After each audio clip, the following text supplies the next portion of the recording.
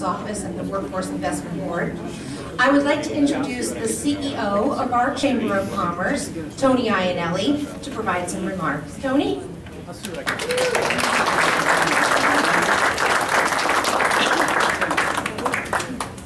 Geez, I thought for sure you'd fawn over me a little bit, but okay, I'll take it. But, okay, there you go. Something, you know. Uh, first and foremost, I look at this crowd and unbelievable. I see business leaders and our county executives. I see my friends from the trades back there. We've had a great, you know, talk about unusual. This chamber has had a, a great, great relationship with the trades group and on many fronts uh, we see eye to eye. And uh, look, it's about uh, employment. It's about keeping people working with good, solid wages. It's important to all of us. My job, thankfully, and my honor is to introduce the Auditor General, Eugene. Pasquale. And let me just say this very quickly. Number one, Mr. Auditor General, have a phenomenal educational resume, uh, a master's from Pitt, and a law degree from Widener. Not bad stuff, so I'm pretty impressive. But also, he's an unbelievable athlete. And not only was he in high school and college, but he continues. He just ran, he's the only public official in the state to run the Spartan Race Trifecta, which is big stuff. And I got tired just Googling it, by the way. and suffice it to say that I won't be running it this year, uh, but that is phenomenal. And I think that just speaks to how tenacious you are. We see you everywhere. And I'm thankful that you are the person that watches the citizens of this Commonwealth Scholars, because you do it in a phenomenal, aggressive way. What also interests me is it's not only with you just about cost cutting, but you're looking, I think in the 21st century, we all agree, you've got to find new sources of income and you're open to that. Uh, you've been, open to a discussion relative to legal, legalizing uh, recreational marijuana, at least how, what the impact, $200 million the impact uh, that would be uh, on this Commonwealth, so new sources of income. But I want to say in closing, I see you everywhere. I'm thankful that you're here today. You see the turnout, people like what you're doing. They like that you're around this Commonwealth more than, or as much more than anyone that we see. And thankfully, you're our guy. Come on up.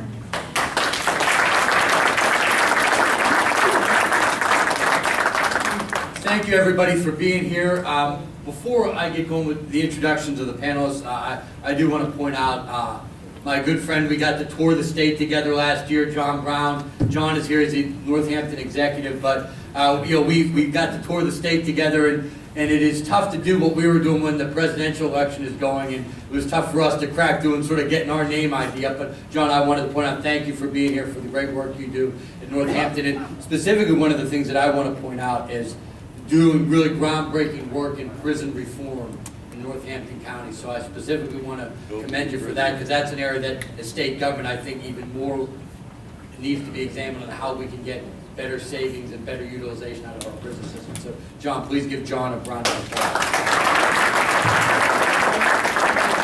Tom Muller here as well. Tom, good friend, doing a great job. I, I, I you know, I, so you're, I think, close to heading off to the sunset. Is that so? so uh, yeah. Yeah, that's right. You're gonna be you're gonna be here. That's why you're here because you want career link to be working very well too. So, Tom, again, I want to thank you for for being here and for your great work that you've done uh, as county executive. Um, there are some other, um, I believe, um, people that are here, and then I'm going to point them out periodically throughout the day, but Greg, certainly Greg Potter from uh, the Lehigh Valley AFL-CIO, uh, good friend from the very beginning, and I thank you for the work. And, and you know, and you've given me some good audit tips throughout throughout my tenure as well, so thank you for doing that. Um, before I introduce the panel, uh, I, I want to say where, what is going on here, sort of the bigger picture. Um, last year, um, I was running for reelection, and I was at the Labor Day parade in Pittsburgh. And at that parade, um, a guy by the name of Kenny Broadbent, who is the head of the local steam fitters out there, um, told me that they were building the, uh, the new natural gas plant, and that they were needing to hire 500 welders, and that they did not have enough people to fill those jobs. And that sort of struck me as, well, you know, here we want, you know, people to, you know, look, well, some of us have put a lot of money into college, some of us have paid for our kids to go to college. And, you know, and then here we are, a situation where somebody could, without even a college degree, get a highly skilled technical job. And if they're willing to do even the overtime, could make over $100,000 a year for at least five years with good pension, healthcare benefits, et cetera. And they couldn't even fill the jobs. So that led me to sort of where, what we've been doing on part of this tour on uh, job training and job creation um, over the last several months. That is, as auditor general, look, yeah, our job is to try to find ways. You know, we've done that with some of our school district audits and et cetera. But it's also, I think, about trying to make government programs run more effectively. So what we're here today is we're doing, I've been doing this all over the state, and we're gonna have a couple more of these, but the Lehigh Valley being such a critical area of the state, is really engaging in a discussion of some of the things the state can be doing that it isn't doing, some of the things that it is doing that can be doing better, and some of the things that quite frankly is not the job of the state, but we need to do a better job of engaging, engaging our private sector partners. And this all leads into the audit that we'll be kicking off into the fall, which is the state spends a lot of money on quote-unquote job training programs. And my sense is that some of them work and some of them maybe don't work, and some of them could be retooled to be more effective for the economy of the future.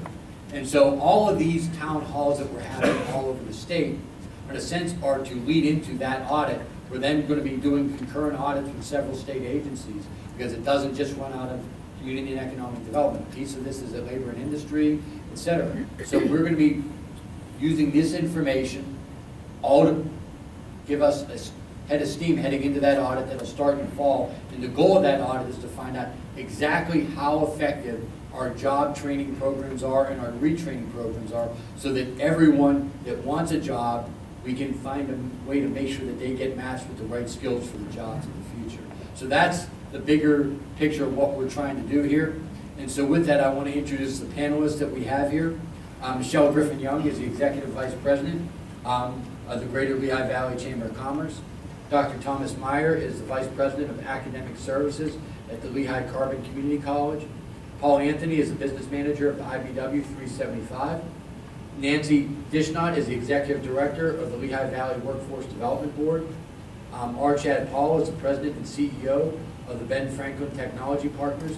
And Lisa Williams is the Director of Training for SEIU Healthcare. And I do want to thank Tony for that warm introduction. Um, You know, obviously, it probably helped you on pronouncing my last name, that you were certainly of the same ethnicity as well. The- My son was playing a baseball game in a, um, in a rural part of the state about a week and a half ago. He comes up the bat, and the louds, the guy on the loudspeaker, and you could just see, he's getting ready to get in, and the, and the guy goes, and it's Ben D, D, and my son looks back, and he goes, DePasquale, D Pasquale, and then he got in, and got in, and then he lined out to the second baseman, and didn't play sports. Um, so with that, each panelist will start, we'll start from, um, your left, move over, but my right will move over to left. Everyone get one minute uh, to just talk about a little bit about what you do, some of your goals with this, and then, we'll- you know, we're really going to open up for, uh, you know, some give and take here, and then we're going to have a Q and A with the audience. So with that, uh, want to start here and move move on on down.